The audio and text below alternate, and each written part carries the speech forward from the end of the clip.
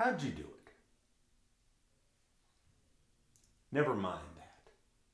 I'll figure that in time. Why'd you do it?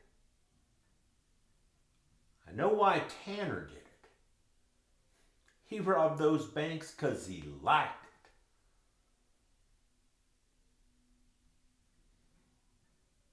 Shot my partner 300 yards away because he liked it. Made him feel good.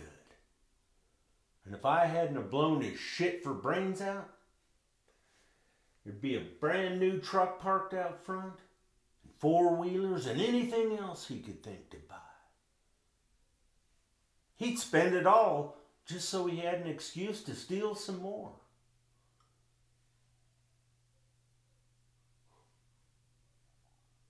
But not you.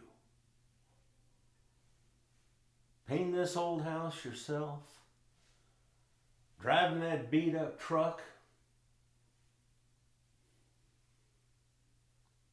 Nothing new here except those pump jacks.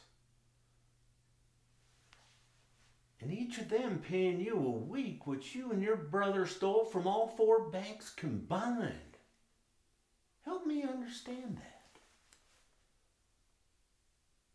Help me understand why four people had to die so you could steal money that don't seem you've spent.